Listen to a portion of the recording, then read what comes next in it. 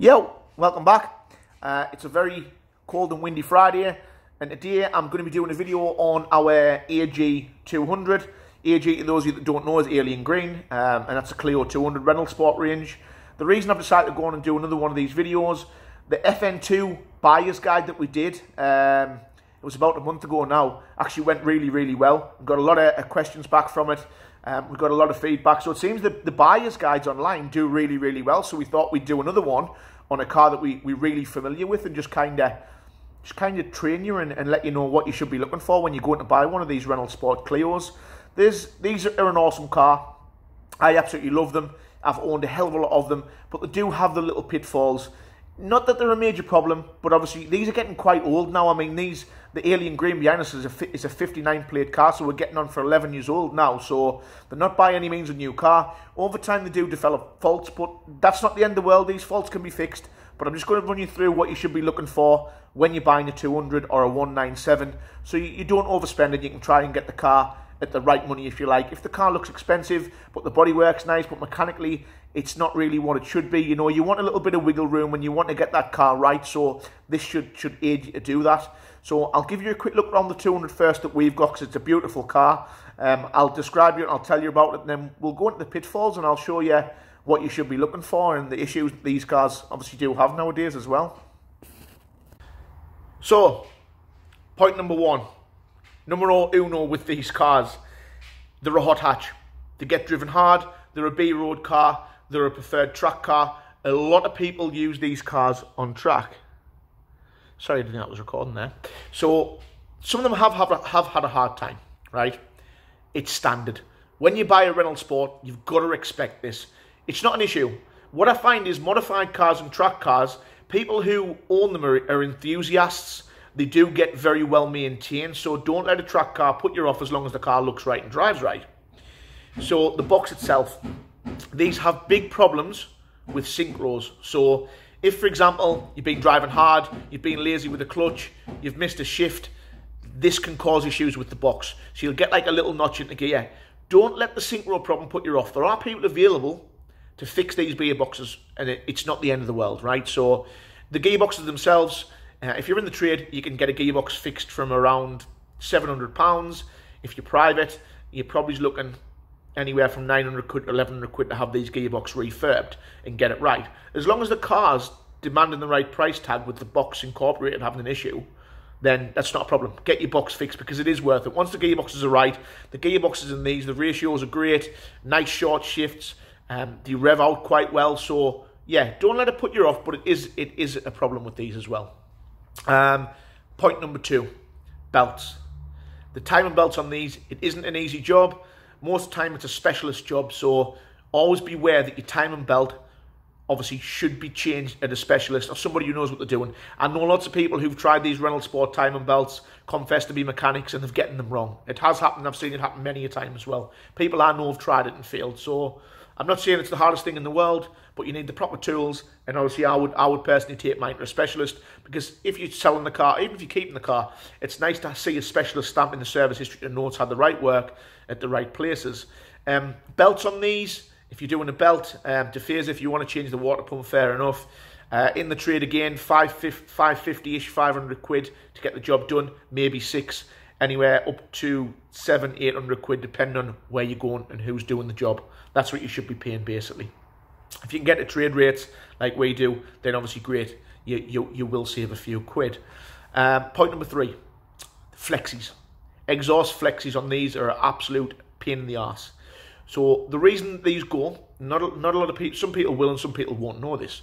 So the engine, obviously the manifold's bolt the engine, obviously the flex is a little bit further down the exhaust. Now what happens is when you're going hard in the car, when you're normally driving the car, the engine will naturally create a little bit of movement. Now, the flexi on these are that weak when the engine obviously moves, the exhaust manifolds move, and the exhaust the exhaust moves, and the flexi takes a little bit of a battering. So, what you can get is you can get a power flex engine mount. It's the right-hand side engine mount insert. Pop one of them in. That'll reduce engine movement. So your flexi won't take as much hammer. That actually prevent not prevents the flexi from splitting, but it will make it last a lot longer. What I would say is, if your flexi's broke on this, don't even bother putting a new flexi in. There's a company called Toyo Sport. It's a budget manifold, but it works quite well. Toyo Sport manifolds are about £200. Just go and get a Toyo Sport manifold, fit the manifold, and get rid of the flexi altogether, and then your issue it, it, won't come back. I guarantee if you fix a flexi or weld another flexi in, depending how long you're going to keep the car, you may have these issues yet again. Um, so that's to me is the main three points, uh, but that's not it. So there is more. Number four, uh, just literally, it's the ball joints and swivel hubs. If you hear these cars, it, it happens. Honestly, I get loads of these in with with knocky ball joints, swivel hubs you know, these things aren't right, and you can tell straight away the steering will feel a little bit vague, there'll be a little bit play before the steering rack picks up. Um, the ball joints, you'll get like a little knockover, adverse camber, little bumps. Always feel for those because, again, on these cars, they aren't the easiest cars to work on, I'll not lie. So ball joints and swivel hubs can be a pain in the ass. So again, nine times out of ten, I mean, most garages can do the work, but a Renault Sport for me, I always like them taken care of by the specialist. I always go with the guy who knows what he's doing. It's less hassle and it's peace of mind. So again, the ball joints and swivel hubs, it would be a specialist job for me. I would always want it done properly. So make sure that you check those. Um, on from that, those are the, the, the, main points. Those are the main things that you should be checking. So just to just to obviously go back over that. So you've got gearbox synchro issues. Check for the gearbox synchro. Um, the second one was belt and diffuser. Make sure it's had a belt and diffuser done. If not, obviously you'll need to budget that in. Uh, number three was the manifold flexi. Uh, check that, Toyo Sport do an upgrade. And number four was obviously the ball joints. So what I'll do is now I'll take you in the interior of our 200 and I'll show you bits of interior bits to look out for, bits of wear. Again, this is me being fussy with stuff, but it's things that you, as a buyer, you're probably going to look at yourself. You'll probably be able to identify these things, but this this might help you. It's little things to look out for. So, so this is the trim of our AG 200. Uh, again, you'll notice straight away this has the the lovely yellow dot Recaro seats in. Those are awaiting a steam clean, by the way. But uh, yeah, it does have the yellow dot Recaros in. Absolutely amazing seat. Hold you very, very well. If you're buying a 200, if you can get these in these seats are, are, just cracking. If you can get one with Recaros, always try and buy one because it makes a nice difference. So obviously, as you can see, the sides of the seats are very, very high, and you kind of have you put your leg up and over to get in the seats. Um, if you're a, a, lad like myself, the larger variety, I'm a 36 inch waist. I always catch this when you get in the car. You just cannot help it. Um, so this obviously wears. Obviously, this is metal. It pushes up against the metal, and eventually it wears the fabric through. Now, don't worry about this too much because there is repairs available. I can get these seat repairs normally around 150 to 200 pounds to fix that issue. Um, but it is very, very common. Um, only the real thing with the interior is steering wheel peel. Again, it's not a big thing, but you know, look at that steering wheel there. You can see this one's actually quite good in comparison to what you normally get. Um, but the steering wheel there, they do peel a little bit, so just look out for those things. In interior wise, that's about it to be fair. There's quite a bonny car inside these 200s. This one here is a cup packed car, which I'll touch on in a minute. Um, and it also has a cruise control and aircon. Right, so I'm going to keep this as simple as possible. This is an important bit of information which a lot of people tend to get wrong and get confused about. So, the cup packs, okay? Very important.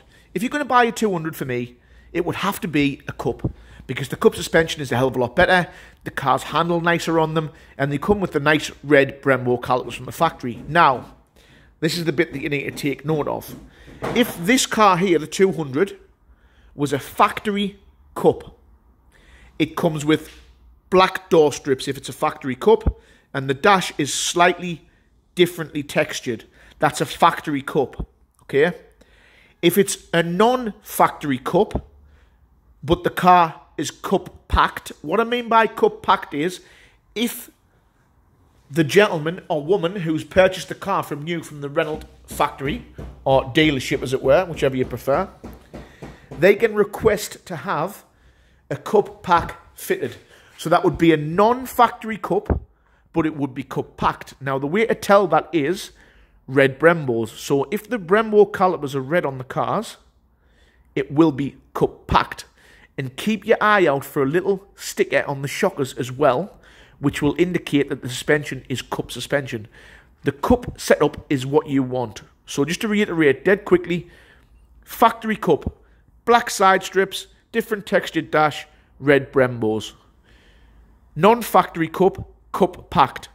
Colour-coded door strips, so they'll be the same colour as the car. Red Brembos, suspension upgrade. So keep your eyes peeled for the yellow sticker on the shockers, which should indicate the car is cup packed and the red Brembos. This one is actually uh, made to look like a factory cup with the black door strips, but this one isn't a factory cup. This one here is a cup packed car. So this one here has the red Brembos. I had the red Brembos before they were colour coded and also has the cup suspension as well. So uh, if you can get a factory cup, they are a little bit rarer. Um, but as long as you get the cup pack, you know, you, you can't go far wrong. The cup pack is what you want in these cars. So always look to buy one at the right money if it's cup packed. Right, so moving on, we try and offer you a, a, full kind of buyer's guide. With that, I would always look at um, possible places to repair, people to tune the car. So I'm going to give you some examples of specialists. Again, just use Facebook, guys. It's good as anything. These all have owners' pages. So there you go. This is Rensport. I'm using Rensport as an example because a gentleman called Chris Dark runs this business. He's local to us. Chris has done a lot of our prep work been very happy with his work and his time timescales, so he's a guy to consider. He's based at Middlesbrough North East. You've also got T-Burn. T-Burn are obviously a Renault specialist as well. They are based in Sunderland. You've also got Beanie Sport, who are very good for conversions. You've got Diamond Motors. You've got Engine Dynamics. Those are just some of the Renault specialists. So, again, you can find all these on Facebook. Don't be afraid to use it. Go and check the pages out, check the guy's work, and obviously you can get some prices. Tuning, very important part. These ca cars are NA. It's hard to pull power out of NA cars. Everybody knows that. But it's not to say it's not worth tuning. So, uh, EFI Parts are a renowned tuner. They're not just a specialist in one particular car. They do a whole range of cars. They can tune anything. It's all live tuned on a dyno, which is what you prefer. You don't want any of these flash maps off the shelf. You want to go to a proper guy who knows what he's doing with the rolling road. Uh, my recommendation for this is EFI Parts. I think he's a Runcorn Cheshire. Uh, also, another tuner which is worth mentioning. You've got um, RS Tuning. RS Tuning are at Leeds. Uh, they predominantly do a lot more Renaults, but I've found generally EFI parts suit what I need, and these guys have always brought good results for the cars that we've had in. They haven't necessarily been tuned by us, but they have been EFI, and EFI uh, do a very good job. So, again, just EFI parts, Facebook. Facebook is as good as anything. It's as good as Google at the moment for tuners. It's a bit more interactive, and you can have a look. So, yeah, EFI parts down at Cheshire. Uh, give these guys a call with regards to tuning your Renault Sport. Part suppliers. Again, just using examples of the guys that I use. Um, part suppliers are available up and down the country. This here is our go-to guy. Again, he is a local guy. We like to keep our business local, you know. These are just enthusiasts. This guy does track days with us. I've known him a long time. Uh, and he always beats prices online, the likes of eBay. I mean, eBay is normally the cheapest for everything, but this guy does a really good job and gets the stuff cheap. So this guy is CP, gentleman called Chris Pickering, who owns CP Performance. So CP, what he is, is he is a middleman, if you like. So he has good connects with all of the dealers. So um, Brembo, PBS, um, RPD, which is Renault Parts Direct, Scorpion, um, Yellow Speed, IBAC. It, this guy has dealings with everybody. Milltek, Cobra. You know, this guy has basically everything under one roof. So if you need any any parts again, just use Facebook. It's very simple and straightforward. Um, contact Christian if you want any bits. I'm sure this guy will, will help you.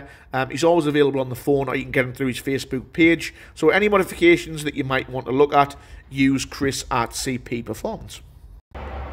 I'll just keep this brief as I mentioned earlier on, um, it's nice to be able to show you what I was referring to. So as I mentioned with the Flexis having a problem, putting these engine mounts in basically minimises the engine movement, which stops the stress on the Flexi and basically prevents the Flexi from cracking or smashing, as it were. It may still wear over time, but this will prevent it and slow the process down. Um, as you'll see, obviously the yellow speed coilovers there, they are they're pretty much brand new. And I'll show you the side, obviously we've got the top off so you can get a closer look.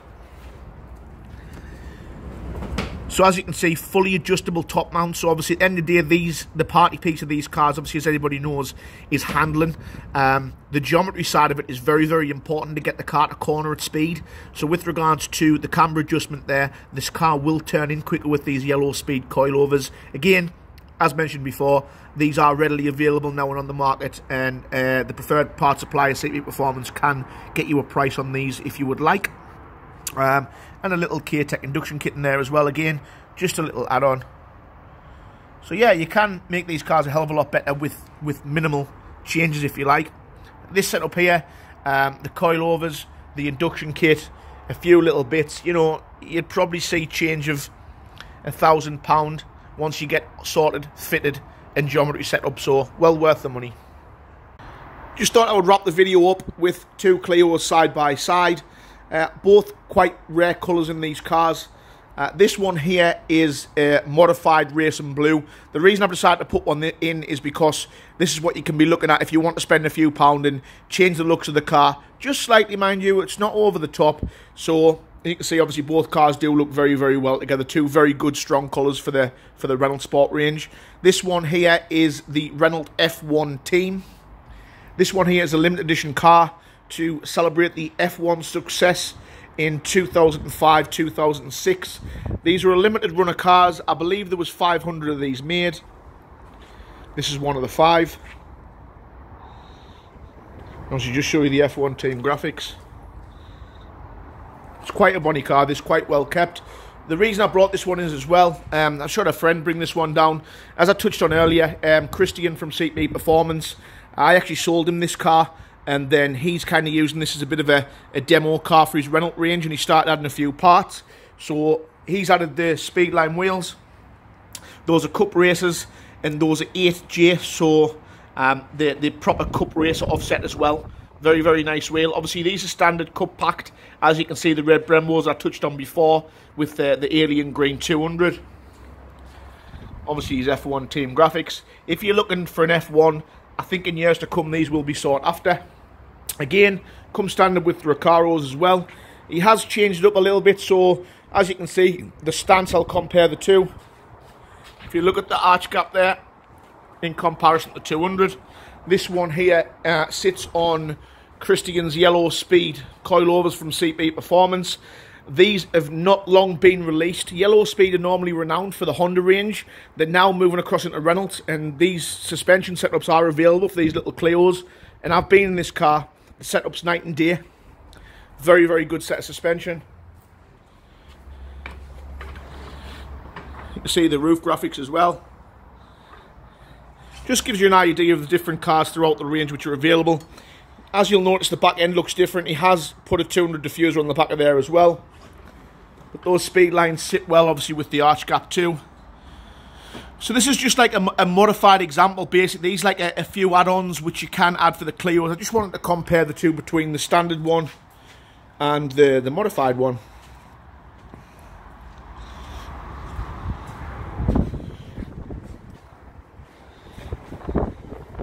So yes, two very, very good cars. I'll conclude the video there for now. Uh, hopefully, it's been quite useful to people who are looking to buy one of these Clios and it will give you a bit more insight into what to look for, the problems, and the kind of pitfalls with the car. Uh, my advice is if you're looking for a Clio, stick with it. You will enjoy the car. Um, if there's any comments, anything you want to know, just feel free to put in the comment section on the video. And again, just make sure you subscribe and hit the bell in the top right hand corner of the screen to subscribe. Thanks for watching.